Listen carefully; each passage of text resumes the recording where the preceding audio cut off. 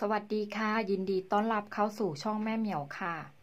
แม่เหมียวน้องปอนะคะ วันนี้แม่เหมียวมีวิธีพับเหรียญปุยทานเป็นดอกพิกุลนะคะ เป็นฐานสี่เหลี่ยมมาแนะนำค่ะ วันนี้เราใช้ริบบิ้นสองส่วนนะคะ เป็นริบบิ้นเบอร์สองนะคะจำนวนสี่เส้นค่ะ ส่วนแรกนะคะใช้ความยาวอยู่ที่สิบแปดเซนติเมตรค่ะ ปลายริบบิ้นนะคะ ตัดเป็นปากฉลามนะคะ ตัวนี้เราจะใช้นะคะ 18เซนติเมตรเราพับครึ่งค่ะ ส่วนตัวที่สองนะคะ ก็เป็นริบบิ้นเบอร์สองนะคะจำนวนสี่เส้นค่ะ ก็ใช้นะคะความยาวอยู่ที่ 12เซนติเมตรนะคะ ตัดเป็นปากฉลามนะคะ กับเป็นแบบตรงนะคะด้านล่างนะคะ เริ่มกันเลยค่ะ เราก็ทำฐานสีแดงก่อนนะคะ ก็จับตรงรอยพับเอาเส้นที่หนึ่งเป็นฐานค่ะ เส้นที่สองนะคะ เราก็จับตรงรอยพับเอามาคล้องเส้นที่หนึ่งนะคะ เส้นต่อไปนะคะ เส้นที่สามจับตรงรอยพับเอามาคล้องเส้นที่สองค่ะ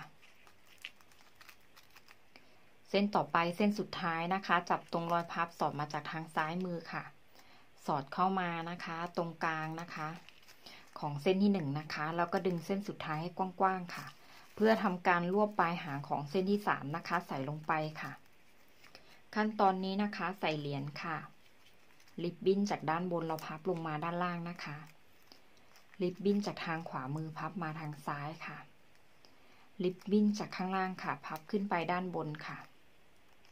ริบบิ้นนะคะจากทางซ้ายมือค่ะ สอดมานะคะทางขวาค่ะ สอดผ่านเส้นที่หนึ่งมานะคะ เสร็จแล้วนะคะเราก็บีบทุกมุมเลยนะคะ แล้วเราก็พลิกกลับด้านค่ะ ริบบิ้นจากข้างบนเราสอดลงมาด้านล่างค่ะ ริบบิ้นจากทางขวามือนะคะ เราก็สอดไปที่ซ้ายค่ะ ริบบิ้นจากข้างล่างค่ะ เราสอดขึ้นไปด้านบนค่ะ ริบบิ้นนะคะจากทางซ้ายมือสอดมาทางขวาค่ะ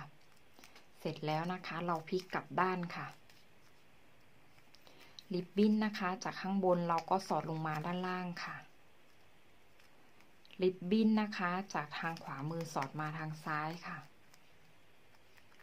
ริบบิ้นนะคะ จากข้างล่างเราสอดขึ้นไปด้านบนค่ะ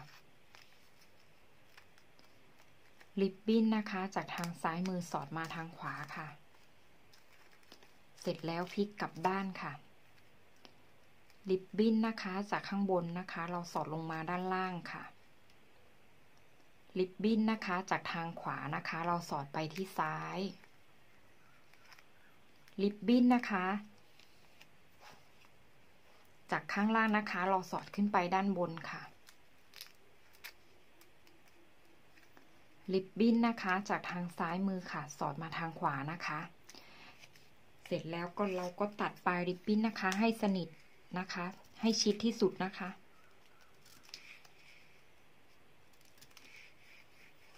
นี่ค่ะเราได้แล้วนะคะ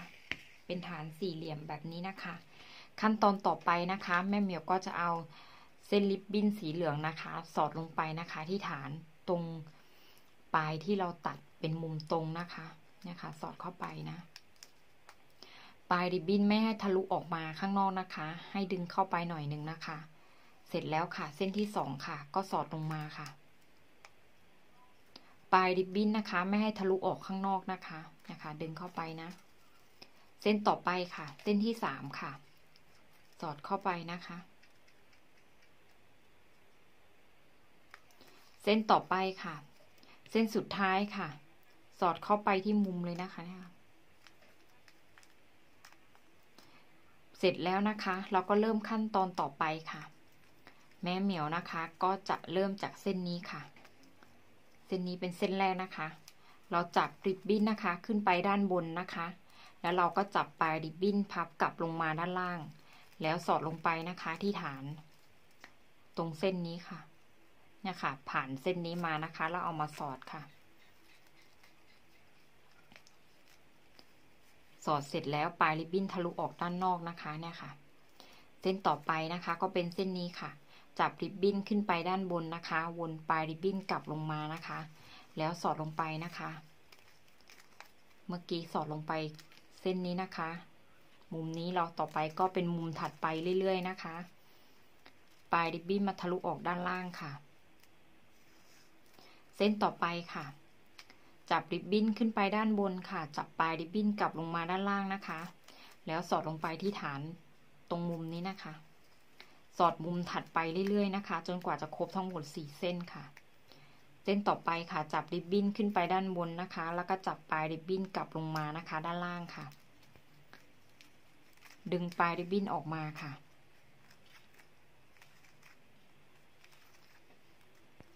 เรียบร้อยแล้วนะคะ เราพลิกกลับด้านค่ะ ริบบิ้นนะคะ จากข้างบนเราสอดลงมาด้านล่างค่ะ ริบบิ้นนะคะ จากทางขวามือสอดไปที่ซ้ายค่ะ ริบบิ้นนะคะ จากข้างล่างเราสอดขึ้นไปด้านบนค่ะ ริบบิ้นนะคะ จากทางซ้ายสอดมาทางขวาค่ะ เรากดปลายริบบิ้นทุกมุมเลยนะคะ ให้แน่น ๆ เลยนะคะ เสร็จแล้วก็ตัดปลายริบบิ้นทิ้งค่ะ ตัดให้ชิดสนิทเลยนะคะ นี่ค่ะ เรียบร้อยแล้วนะคะ ดอกอพิกุลของแม่ออดอกลำดวนของแม่เหมียว เจอกันใหม่คลิปหน้าสวัสดีค่ะ